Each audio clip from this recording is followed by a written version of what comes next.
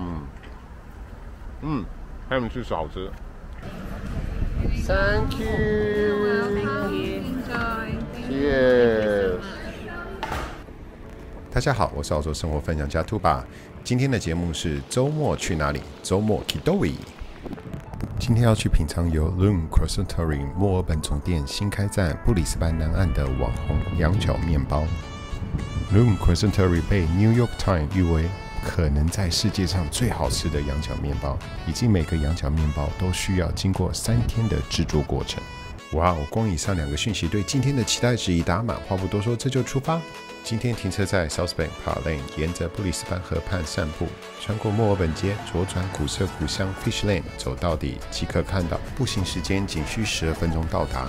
我的天哪，好多人已经在排队。虽然布里斯班已经没有封城，大家还是遵守保持 social distance。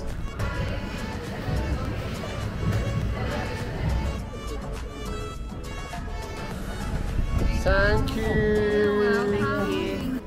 哒啦！在这里要感谢这一期节目的赞助商 Aiken，是位于布里斯班南岸中心精品公寓开发预售项目。Aiken 为三十层楼精品公寓，却仅有一百九十户。私人会所包含电影院、barbecue、饮酒室、两个私人厨房以及商务中心。Aiken 在南岸房源本已紧缺的情况下，注入了一股清流。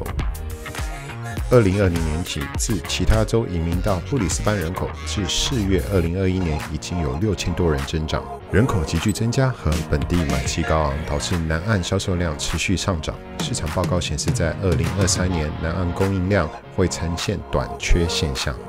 有兴趣的小伙伴可以在下方留言，可索取相关资料以及专人与你联系。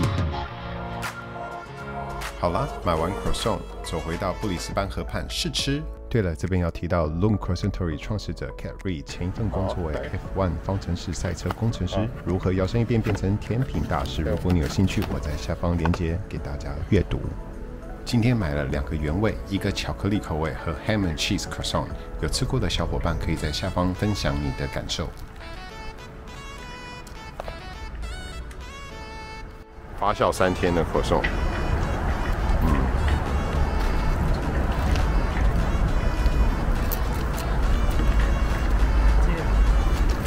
那这是什么口味的？哦、h a m and cheese，哦、m y favorite。嗯，嗯，ham and cheese 好吃。好了，这就是今天的节目。我是澳洲生活分享家兔爸，期待下期与你相见。